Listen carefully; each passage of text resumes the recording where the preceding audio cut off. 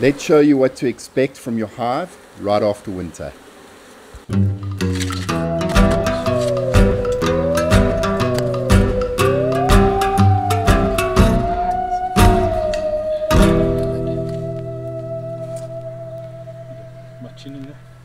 Welcome back everyone. So another episode where we're doing hive inspections. First up we've got hive number 20. This was the removal from the bamboo pot in North Riding. Links in the top if you want to go and check that one out. Last inspection on this hive was 27th of April, just before winter. Then we went into a dearth, so we don't expect this queen to be laying much. And um, today is the 7th of August, which is just coming into spring now. Previously, this had uh, four frames of brood and a couple of frames of resources. So this hive was looking really, really strong. We'll put the diagram in the bottom right of the screen where uh, you can see what the 27th of April looked like and what the 7th of August now looks like after winter. Okay, this is still an empty frame. Okay, empty. That one's empty.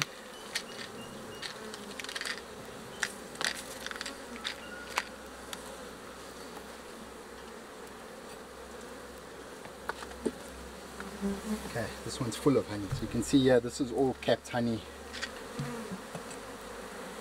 Honey as well. Sure, it's heavy. Mm-hmm. That's all honey. So this is right after winter, and they've got so much honey here. This has all got nectar in it over here, so that eventually will get capped off.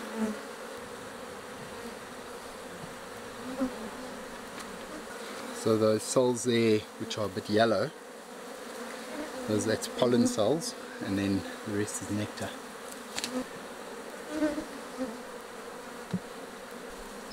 Can we open? Okay, here's a little bit of brood. Just check though, it's more resources than brood though. Pollen, nectar. You're going to want to get this queen laying.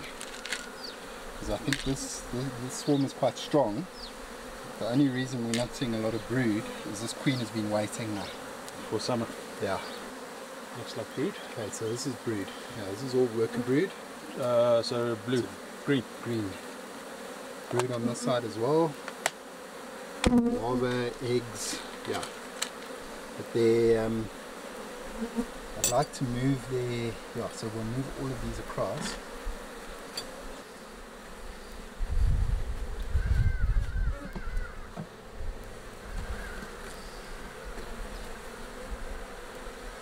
Okay, yeah, this is brood yeah. Green again. Yeah, it's green.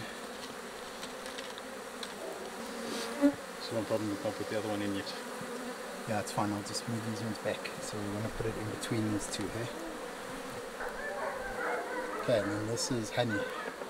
Are we not concerned it's too few brood? No, no, I think it's just because it's winter. Huh? Okay. This is just empty. It's got resources as well. Okay. Okay, so we wanted to pop that one in here. Yeah. Typically, how many frames should be brood?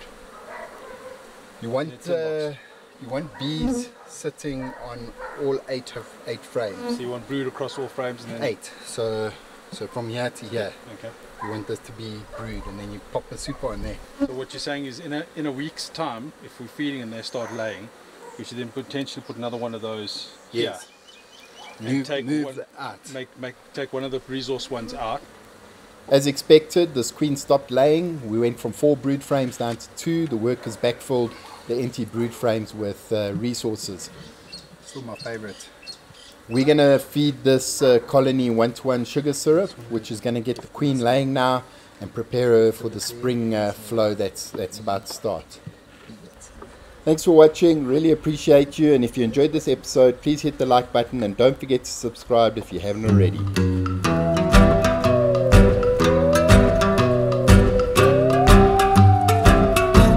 Nice. Okay, you got two nice hives and one One not grow, growing hive. Yeah.